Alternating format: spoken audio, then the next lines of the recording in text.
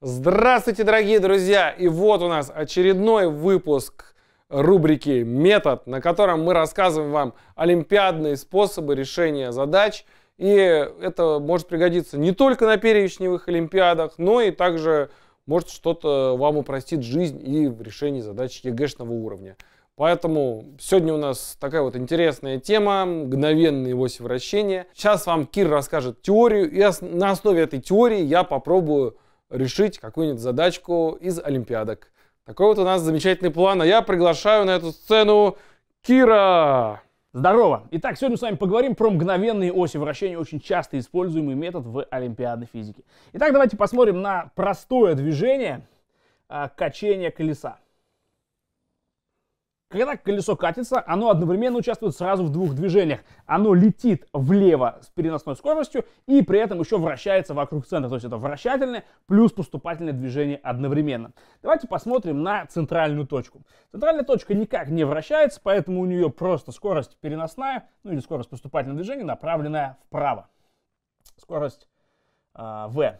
Давайте посмотрим теперь на нижнюю точку. Нижняя точка участвует уже в двух движениях. Она летит со скоростью v вправо за счет поступательного движения. И также за счет вращения она движется, вот, вот так крутится, то есть вот влево направлена какая-то скорость v1. Во всех задачах в олимпиадной физике, ну почти во всех, тело у нас двигается без проскальзывания. Что значит без проскальзывания? Значит скорость э, двух соприкасающихся поверхностей должна быть одинаковая. Но раз скорость Земли у нас 0, значит и скорость колеса в этой нижней точке должна быть тоже равна нулю. То есть получается у нас, что v и v1 это вектор направленный в разные стороны, они должны быть одинаковые по модулю, чтобы а нижняя точка была равна нулю. То есть мы какой вывод делаем? А скорость вращения любой точки на колесе равна скорости поступательного движения центра колеса. К этому еще с вами вернемся. Давайте посмотрим какую-нибудь рандомную точку на колесе. Допустим, вот эту. Что у нее? У нее две скорости. Скорость, направленная вправо, это скорость центра. И скорость, а, направленная по касательной, это скорость вращения. Причем мы сказали v равно v1. Тогда общая ее скорость будет равна какое-то, какому-то значению и направлена как э, диагональ параллелограмма, образованного этими скоростями. Э, это просто так теория. Теперь поговорим про нижнюю точку. То есть мы с вами выяснили, что нижняя точка покоится. То есть, по сути, вот этот весь э, колесо, этот весь диск можно рассматривать следующим образом.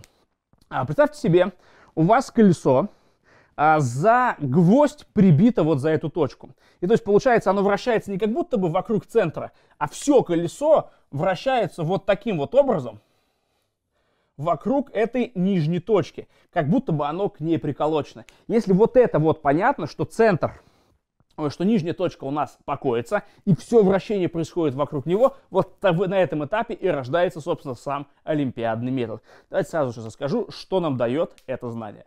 Итак, у нас с вами колесо, у которого известно 100% скорость центра. Это скорость v, это у нас расстояние равняется r. В этом случае можно очень легко взять и найти угловую скорость вращения этого колеса вокруг вот этой вот точки. Эта точка называется мгновенный центр вращения. Так, найдем омегу. Омега по определению это скорость, деленная на радиус. То есть все колесо вращается вокруг, как будто бы вращается вокруг нижней точки, вот с такой вот угловой скоростью. Для чего используется этот метод? Предположим, есть какая-то рандомная точка на колесе, допустим, вот эта. И вам нужно найти, куда направлена ее скорость и чему она равна. А, этот метод дает максимально простой ответ. Во-первых, а, если соединить точку и мгновенную центр вращения – а, прямой, то скорость всегда будет направлена перпендикулярно этой прямой. То есть можно уверенно сказать, что вот это, у этой точки скорость направлена вот так. То есть без всяких сложений векторов, просто вот так вот перпендикулярно этой штуке. Второе, чтобы найти скорость, это v какой-то штрих пусть будет, чтобы найти скорость этой точки v штрих, нужно воспользоваться этой же самой формулой.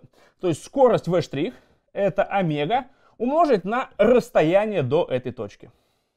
Все.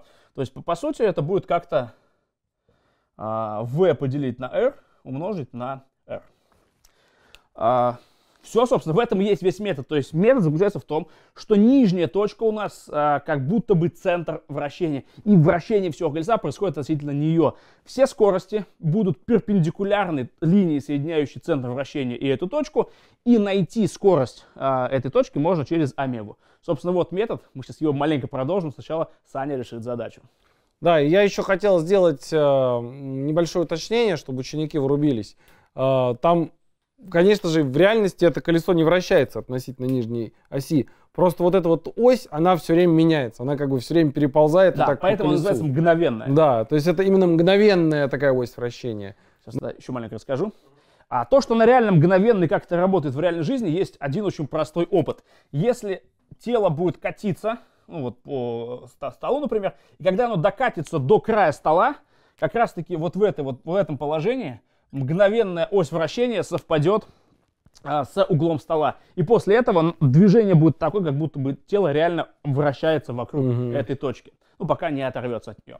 Все, Сань, теперь ты решаешь. Все, иду. Катушка с намотанной на нее нитью лежит на горизонтальном столе, по которой она может катиться без скольжения. С какой скоростью, в каком направлении будет перемещаться ось катушки, э, если нить натянуть горизонтально а, если не тянуть горизонтально со скоростью v. А, слушай, я похоже решал в Москалеве, я помню. Так, а, тут два рисунка, два случая. Два да? случая, да. Да, радиус э, средней части катушки равен r, внешний r большое. Так, сейчас, то есть вот тут намотана нить. Я тяну ее со скоростью v. Так, я пытаюсь врубиться, что происходит. Ну, нитка не проскальзывает же относительно. Она самой. прям как будто гвоздиком вбита да. здесь, да? Ага. То есть, по большому счету, они обязаны двигаться с одинаковой скоростью.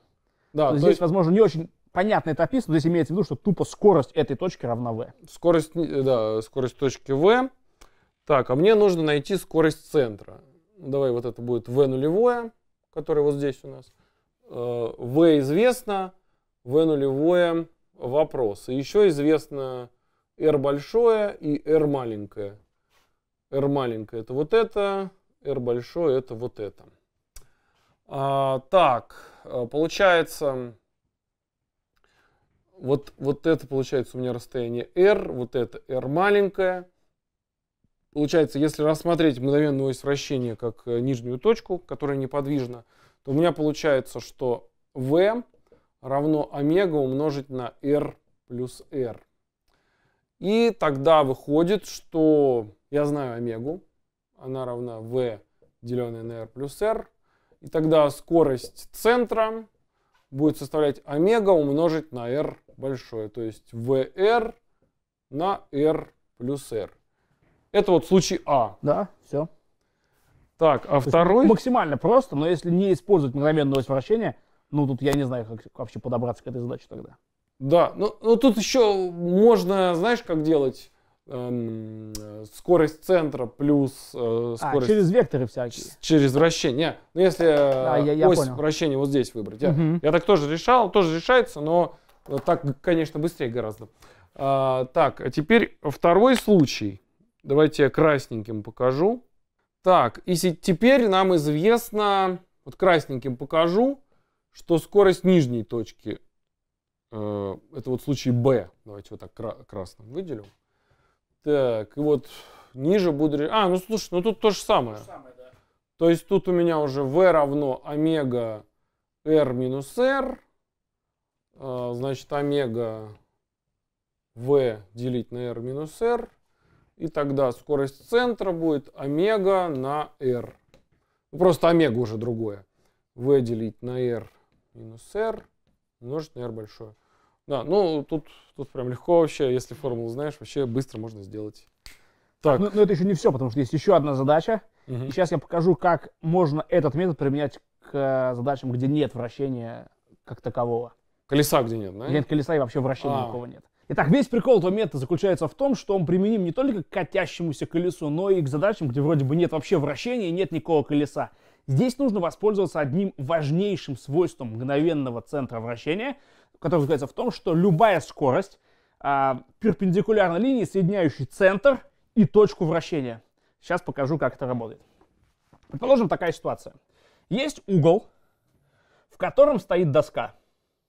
Вот так вот в углу стоит доска. Мы ее отпускаем, и доска начинает вот так вот ехать. Ну, то есть вот так вот падать вниз. А, вроде бы вообще нет никакого вращения, но эта задача тоже может через нее решаться. Нам известны скорости, допустим, у верхней точки скорость, очевидно, будет направлена вниз, потому что если доска не отрывается от стены, то верхняя точка просто ползет вниз. Ну, нижняя же точка просто ползет вправо. Так, это V верхний, это V нижний. Теперь воспользуемся тем принципом, который я рассказал. Если существует какой-то мгновенный центр вращения, то, он, а, то линия, соединяющая центр и точку, будет перпендикулярна скорости. То есть для этой точки она будет лежать где-то вот здесь. Вот на этой линии будет лежать этот центр. Ну и для этого он будет где-то вот здесь. Все. Вот это мгновенная ось вращения. И дальше можно делать абсолютно все то же самое, что мы делали. То есть, допустим, вам нужна точка вот эта. Как ее найти? А, проводим линию. Скорость будет перпендикулярна этой линии, то есть направлена как-то вот так. То есть это вот v какая-то будет, v рандомная. И чтобы найти ее численно вам, то также можно сначала найти омегу. То есть давайте найдем, вот это, допустим, у нас это r. То есть омега это будет v нижний поделить на r. И чтобы найти v рандомную, нужно эту омегу умножить на вот это вот расстояние. То есть там, по сути, все в итоге сведется к геометрии.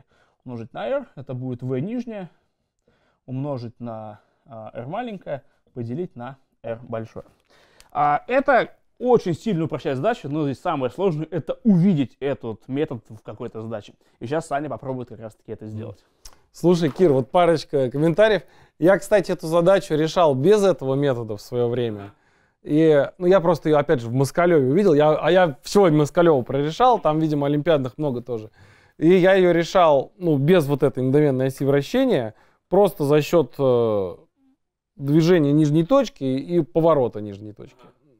Вот, и там, ну, конечно, так объемно получилось. И э, хейтеры, преподаватели в комментариях написали мне вот про эту мгновенную ось вращения, и ну, я офигел, конечно, насколько все упрощается. Да, ну сейчас посмотрим, что вот ты... У этой, этой задачи, я просто ее показывал, у нее 5 решений. А, То 5? есть можно 5 методов сделать. Нормально. Ладно, сейчас посмотрим. Длинный шест АБ поднимают на крышу сарая, двигая его нижний конец горизонтально по земле с постоянной скоростью v нулевой. Так, ну опять в общем виде все. А, найдите скорость верхнего конца шеста B в тот момент, когда середина стержня, точка С, проходит край сарая. А, все. То есть э, дано ничего. А, или угол, угол альфа дан? Нет? Походу нет. Ладно, найдите скорость точки С. А, верхнего шеста. Все. Найдите скорость точки Б когда середина находится здесь. Так, сейчас я сделаю рисунок. Так, и вот тут я V0. Ага. То есть тут у меня V0 скорость. Значит, я уже про ось вращения думаю. Значит, ось вращения находится где-то здесь. Так, а вот здесь у меня какая скорость? Интересно. Вот это очень правильно подумал. Именно над ней надо думать, над этой точкой. Да, да. Так, так, так. Блин, я хочу сам додуматься. Так, эм, так как это тело твердое, то вот скорость этой точки не может быть направлена там куда-то сюда. Ровно как и вверх она не может быть направлена. Да, и вверх потому она тоже. Она оторвется тогда. Они потому что соприкасаются. Поэтому получается скорость вот этой точки, она ровно по стержню направлена. Да, она просто ползет по сути туда. Да, вот именно вот в этой точке, в этот момент. И получается, что мгновенное вращение, она... Ух ты, какой, какой, ух ты, какая ось. У меня доски не хватает. Так, ну типа это перпендикуляр. Она находится вот здесь. Вот здесь. Это точка О. Мгновенная ось вращения. Так, так, так. Тут прямой угол. Тут угол альфа. Эм, это L пополам это тогда тоже альфа. Ну, это 90 минус альфа. Тогда это альфа. И получается, что... Сань, только мы ищем скорость в верхней точке. А я хочу а, омегу найти. Все понятно. Да, да. Э, у меня получается синус альфа равен L пополам, деленное на АО. То есть АО у меня 2 синус альфа. Подожди, подожди. Э, АО это L пополам на синус альфа. Так, получается, что v нулевое, которая мне единственная дана, равна какой-то угловой скорости относительно а, а, вот этой мгновенной оси умножить на АО. То есть равно омега на L, деленное на 2 синус альфа. Супер. Отсюда я могу найти омегу, которая у меня составляет V нулевое на 2 синус альфа, деленное на L. Замечательно. Теперь мне, чтобы найти скорость точки B, надо найти ОБ. Но это я сделать смогу без проблем. Потому что у меня... А, кстати, смогу ли я... А, слушай-ка, это же... Это же медиана.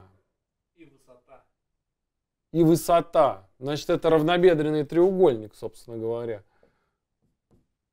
Так, ну у меня по рисунку это не очень похоже, но это так и есть.